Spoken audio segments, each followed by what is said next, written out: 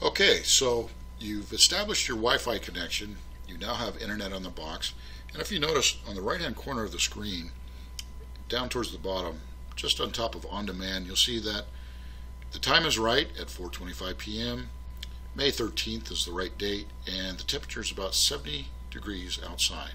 These are all correct because we have internet connection. If we did not have internet, those time the time would be off, the date might be off.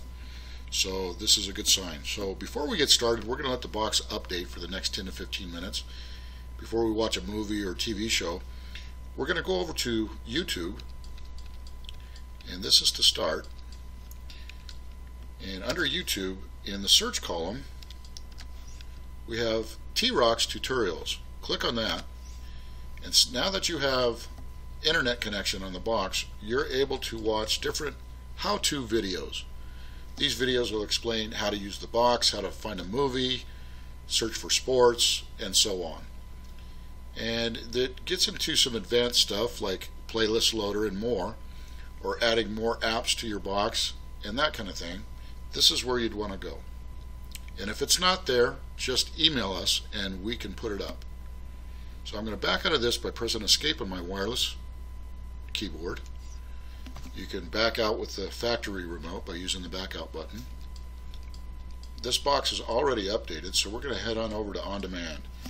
Now, this is a section or menu for this section. Here's another section. Here's another.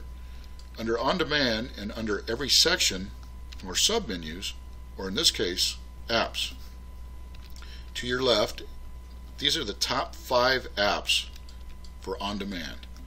Most of these apps are autoplay. That means you highlight a movie and it plays pretty quickly.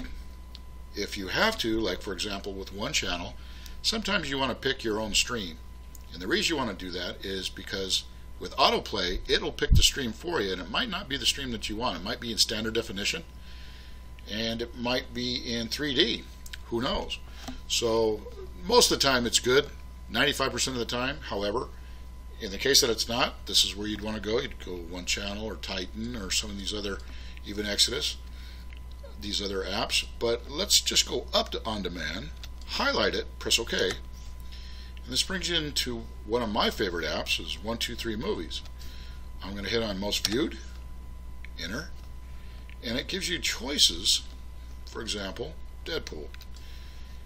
Nice thing about this app is you don't have to choose the stream. You highlight it, the movie, click on it, click on it once, set the remote down, and sit back and enjoy the movie. Within seven seconds, it should be playing on your box, depending on your internet connection. I'm going to say 5 to 10 seconds in this case. My internet connection here is 5 megabits per second.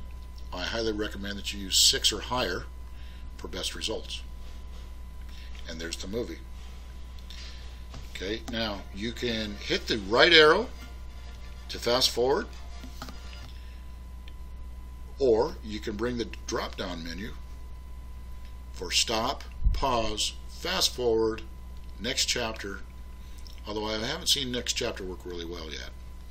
Okay, press P for play on your on your keyboard if you need to keep playing, but in this case we're just going to stop the movie.